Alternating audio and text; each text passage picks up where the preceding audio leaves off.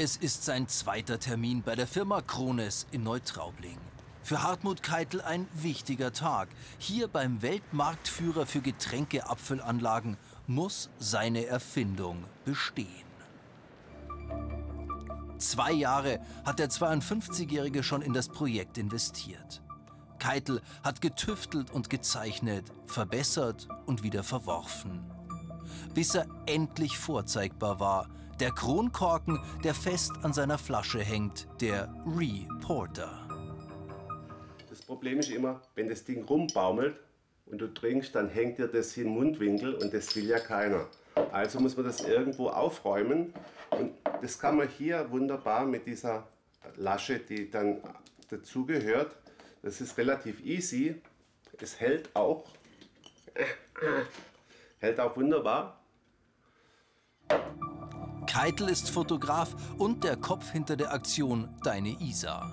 Beim Spazierengehen hatte er sich über die wachsenden Müllberge dort geärgert. Zumindest im Kronkorken hat er jetzt den Kampf angesagt.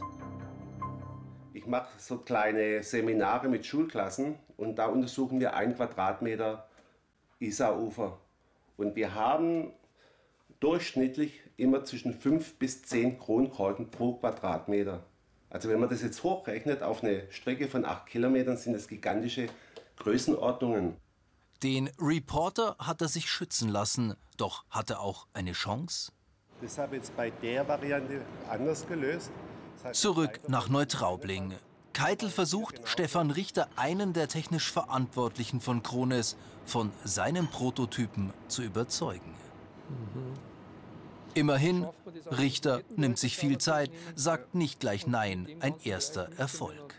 Aber die Bäume wachsen nicht in den Himmel. Der Mann von Krones bleibt zurückhaltend. Für uns ist es wichtig, dass man sich mit diesen Themen aktiv auseinandersetzt und sie nicht am Anfang schon äh, zur Seite schiebt und sagt, naja, aus dem und dem Grund wird es technisch nicht gehen.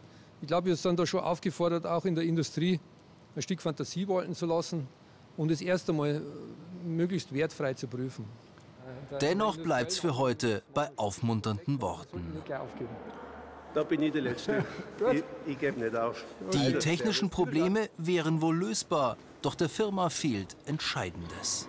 Wir brauchen einen innovativen Brauer, einen innovativen Abfüller von Getränken, äh, der sich ernsthaft mit diesem Thema Kronenkorken bereit ist, auseinanderzusetzen und dann mit uns nochmal in Klausur geht. Diesen innovativen Brauer zu organisieren, das überlässt Krones aber dem Erfinder. Es bleibt also ein steiniger Weg für Hartmut Keitel und seinen Reporter.